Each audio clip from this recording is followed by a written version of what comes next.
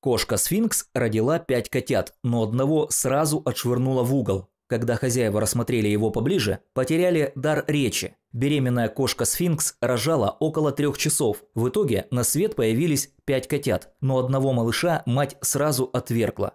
Шера рожает уже с ночи, разбудила Ирина своего мужа. Женщина заботливо сменила подстилку кошки и ушла на работу. Когда она приехала на обед, питомица еще не отмучилась. Трое малышей копошились рядом. Вскоре на свет появились все пятеро, но одного котенка Шера почему-то не допустила к своей груди. Обнюхала, взяла зубами за холку и отшвырнула в угол.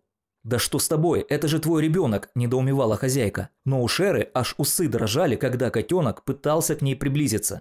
Тогда Ирина осторожно взяла в ладонь малыша и принялась рассматривать. Но как только она поняла, в чем дело, инстинктивно выронила его на подстилку. Она не могла поверить своим глазам. «Алло, Юр, тут кошка какого-то мутанта родила. У него глаза, я даже не знаю, как сказать. Меня трясет, что с ним делать?» В панике женщина позвонила мужу.